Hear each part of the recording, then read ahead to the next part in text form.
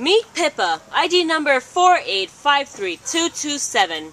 She's a female, tan and white, short-haired Chihuahua mix, about seven years old, and came into the shelter as a stray from Los Angeles on July 7th. This cheerful little lady um, is a bit shy at first, but as soon as you put her down and out of your arms, she would want you to pick her up right up again.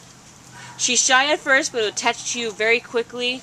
She just wants that security in your arms, and she's good with other dogs. Good for an older couple. When you carry her, she she wraps her paws around your fingers like she's trying like she's trying to hug you. She enjoys the cuddle and is easy to walk. She she walks very good on a leash, and she has very low energy and is a quiet, mellow girl. She's great for indoors, and actually that should probably be a must considering her size and age. She'd be most comfortable being indoors and in an apartment, uh, or an apartment.